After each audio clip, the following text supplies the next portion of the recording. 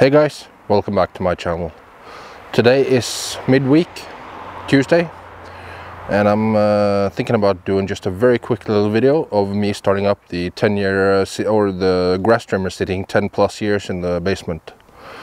You remember I, all I did to it was I uh, replaced the fuel and purged the primer bulb and uh, the thing fired right up. And I'll uh, start it up for you right now. Okay, let's fire this up.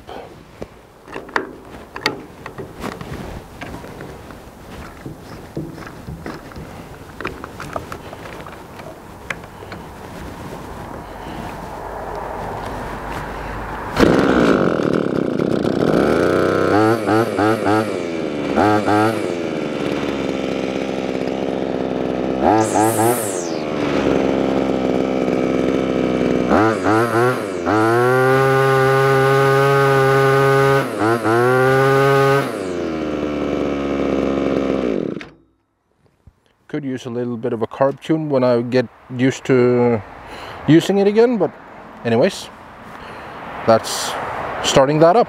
Starts on the first pull. Thank you for tuning into my videos guys. I really appreciate it. If you could take the time to like the video comment down below and subscribe to my channel that would be awesome. Uh, you can follow me in social media. The links are down in the video description.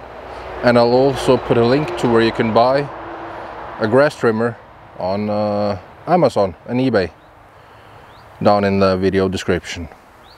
I'll see you in my next video guys. Take care.